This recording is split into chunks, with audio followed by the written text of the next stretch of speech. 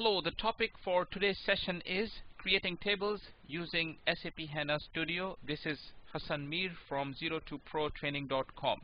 In the previous session, we connected SAP HANA Studio to the SAP HANA database by adding a system and a connection. Now the connection is established. We also took a brief tour of the schemas available and we also talked about a personal schema and we also talked about that we can create new objects in the personal schema. In this session we will create tables so that we can move forward and do some experiments with these tables by inserting some data in the tables. So as you already may be aware that in relational databases data goes in tables tables you can consider as storage to store records and each record is representing an instance of the entity. For example a student table will have multiple records and each record will be pointing to an individual student. A course table will have multiple records and each record will be pointing to a particular course. No two records can point to one instance and one instance cannot be re represented by multiple records. So each record is representing a particular instance of the entity and each table is storing data about a particular entity okay? And in generally that is true and some tables are there to store relationship between two entities many to many relationship for example which student is taking which course? But other than that each table would be recording information about a particular entity. Okay so with this information we're going to move forward. The first table that we will be creating is student table with columns ID F name for first name L name for last name and date joined. The column types for all these columns would be varchar that can by definition have alphanumeric values in it the size, however, for ID column is 3, for F name column is 20, and for L name column is 20 as well. Date joint will be having dates in it, but the type is still varchar, and the size is 8.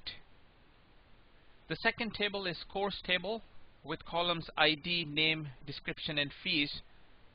ID column has data type varchar with maximum size 3 name has varchar type as well with maximum size 20 for description the type is varchar and size is 100 fees is of type decimal. The column fees will have numbers in it. It cannot contain alphabet.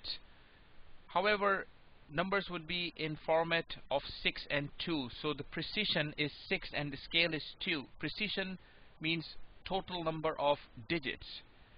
And scale meaning only fraction digits. So 6 comma 2 would mean 4 digits could come before decimal and 2 would come after decimal. Okay so 1 2 3 4.56 is an example of a number that will go in this column. So 6 comma 2 is very different than 6 comma 0. 6 comma 0 would mean a number 1, 2, 3, 4, 5, 6 can go in this column but there will not be any fractions. 6 comma 2 meaning 4 digits can go before the decimal and 2 can go after the decimal. So this is where we left off our previous SAP HANA Studio session. Make sure you're connected to the database expand the catalog node and you will see various schemas and one of that will be your personal schema. And expand your personal schema you will see various object types. And we want to create a new table so we will right click on this tables node and choose new table. Next you will see this screen asking you to provide a table name. We will enter the table name as student we can keep the schema as it is and under the type we can choose either row store or column store. For this one we'll choose column store.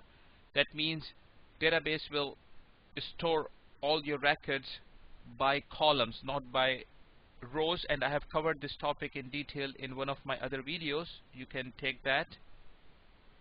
We can keep the schema as it is and in the type we can choose row store you have choices row store and column store. Row store would mean records will be stored by rows and column store would mean records will be stored by columns. I have covered this topic in my another video. You can take that to find out details.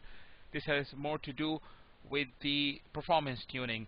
This is a small table. It doesn't really matter if we are storing well uh, records by rows or by columns. Okay so we're gonna just select row store for this table now it's time to define the table columns. The first column is ID and the data type is varchar if you scroll to the right the dimension is 3 also you can consider dimension as the size maximum size. In relational databases it is very important that no two records are same. They have to be unique because they are representing different instances of the entity as we have already discussed.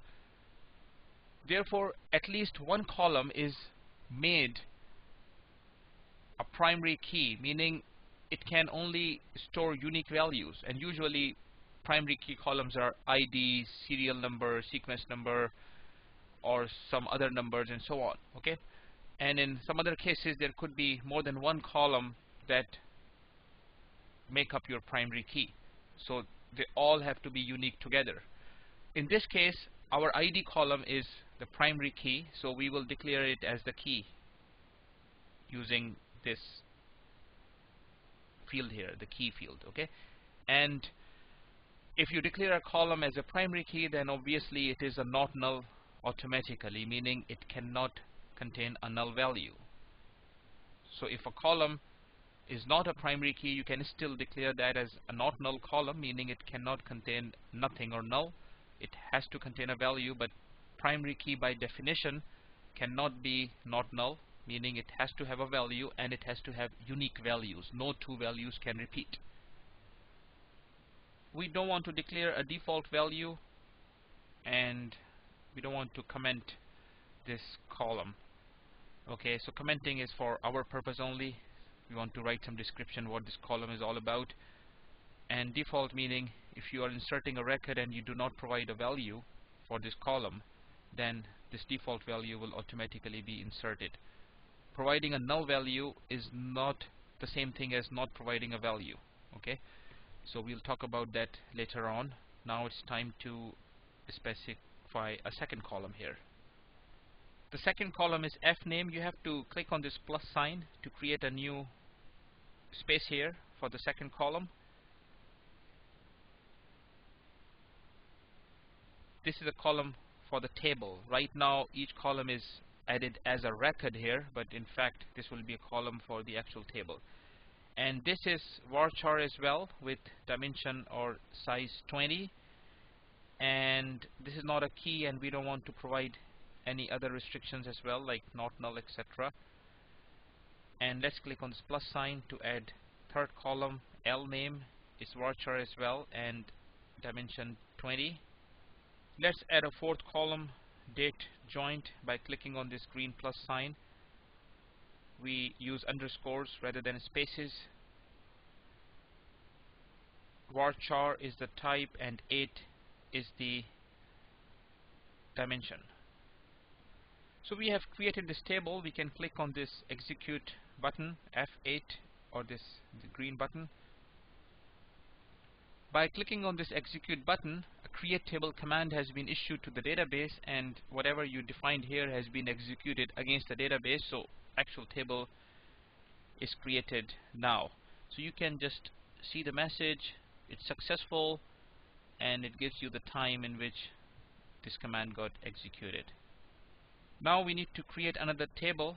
So I can go back to the tables node and click on this plus sign. You can see this student table now. Let's right click on tables again and select the new table option. This table is course. This is keeping records for all the courses. Schema is going to be the same and let's make it a column store table rather than row. Again it doesn't matter it at this small scale. And you can take my other video to find out more about column store versus row store. Okay so the first column is ID is varchar and dimension is 3 it is a primary key and automatically it's not null as well. Click on this plus sign. The second column is name. It's varchar with 20 size. Let's add third column description.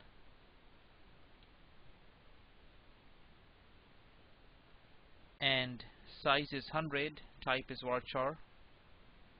Let's add fourth column fees and the type is decimal. You can select that from the pick list.